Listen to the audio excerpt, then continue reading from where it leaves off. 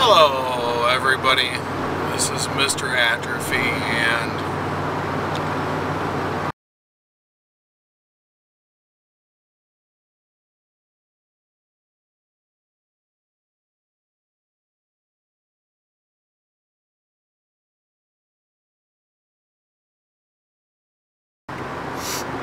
now, secondly, there is a bill going through Congress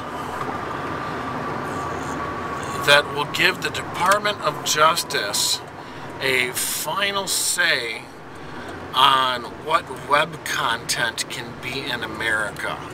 Um, I'm going to put the information below in the thingamajig and uh, so you can read up on it. Um, Dick Durbin has co-sponsored it from Illinois and I can't believe it. I, I pretty much like Dick Durbin. Um, and he, uh, the, the, my problem with it is, is the intention I think is justifiable, but the wording, okay. I'm going to pause here for a second and uh, show you this.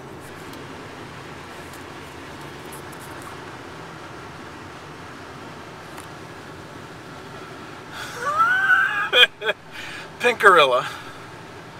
You know, this is why I have a camera. Um,